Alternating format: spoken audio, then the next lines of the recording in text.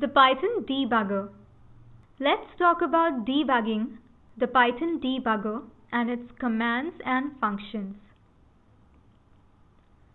The Python debugger is an interactive source code debugger.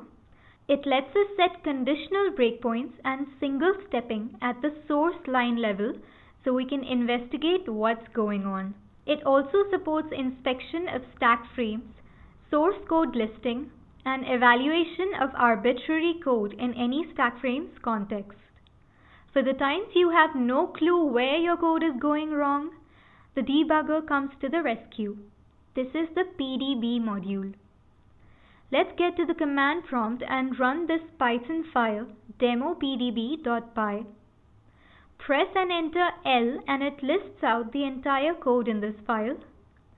N executes this line and gets to the next one. Now x is 8. The raised function raises a number to itself. We introduce a breakpoint. Now raised of 7 is 823543 and raised of 3 is 27. This way we have many commands with the debugger.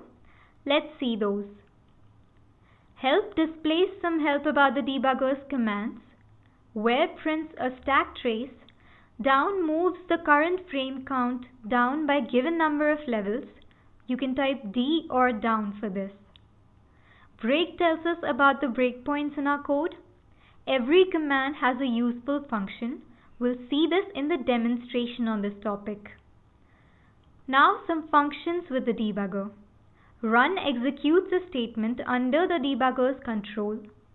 Run eval evaluates it.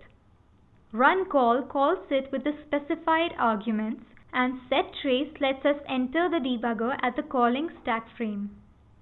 Postmortem allows for postmortem debugging of the specified traceback object and PM enters the postmortem debugging of the traceback in sys.lastTraceback.